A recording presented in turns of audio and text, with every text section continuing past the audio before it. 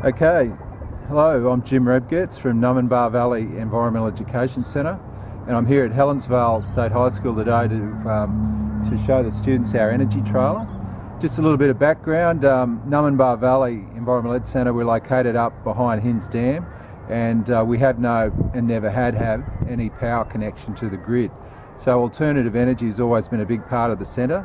Uh, any student that comes to the centre on camp, they learn about our our uh, standalone power system, how it operates, and uh, we compare that to what, how they get their electricity at home. Um, alternative energy has become so important in the last few years though that we decided to get the trailer built. So we got some sponsorship from Gold Coast City Council and from Education Queensland, got our trailer built and we now visit 40 schools a year. We're sponsored by Gold Coast City Council each year so we, we don't have to charge anything for our visits to schools. So what we're basically on about is um, we're talking about energy.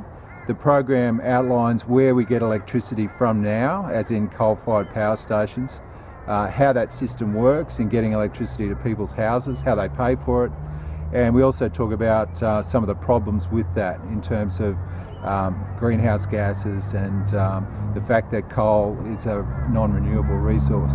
So we, um, we introduce students to the idea of alternative energy, renewable energy, uh, and look at the variety of power sources that could be used in the future to power our houses.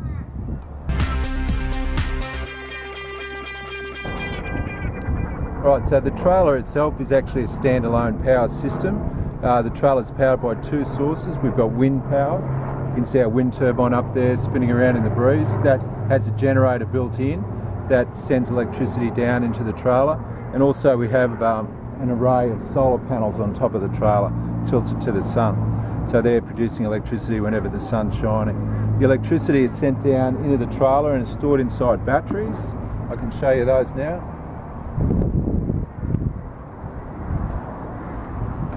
So there's our two batteries inside the trailer there. That's where we store the electricity until we want to use it. And then if you come around this side, on this side of the trailer we have an inverter and what that does when the electricity comes out of the batteries it comes out as DC or 12 volt. This converts it to alternating current to 240 volts. And then we can power whatever we like uh, from the sockets here. So it's a standalone power system with the energy stored in batteries till we when we want to use it. With for the students we have an array uh, or a range of different appliances that we turn on and we have a meter here which indicates how much electricity is actually being consumed and so the students are able to compare different kinds of energy appliances, different kinds of lights for example. So if I turn on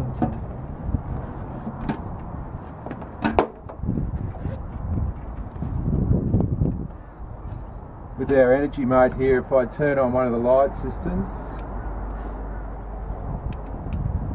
Okay, we've got a, a high wattage halogen bulb inside that um, that display there, and you can see that's reading 95 watts, which is a considerable amount of electricity for only one bulb. So we're showing the students that some bulbs consume a large amount of electricity and others less so.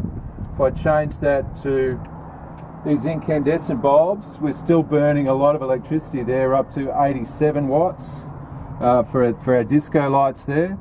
I turn those off, those incandescent bulbs, they, they waste a lot of electricity as heat. Whereas if I turn on to our LED floodlight, LEDs are sort of the latest technology, they don't waste much electricity as heat. And so they're able to generate a lot of light at a, at a low wattage. So all that floodlight uh, ability there is only consuming 38 watts. So it's detailing um, you know, the, the, need to move to more economic power sources within our homes. I think the future of lighting within houses is probably with LEDs, it's getting more efficient as the technology improves.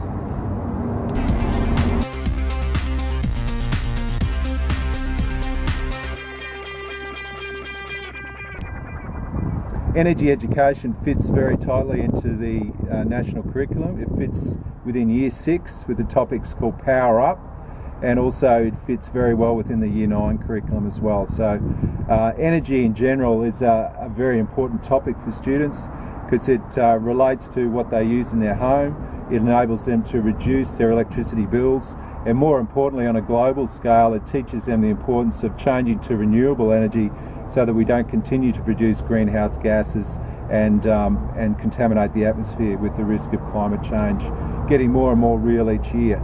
Uh, we all, always point out to students that climate change is a big problem for them because anyone in the younger generations, they're going to live into the time period where the effects of climate change are really going to hit home on a large scale.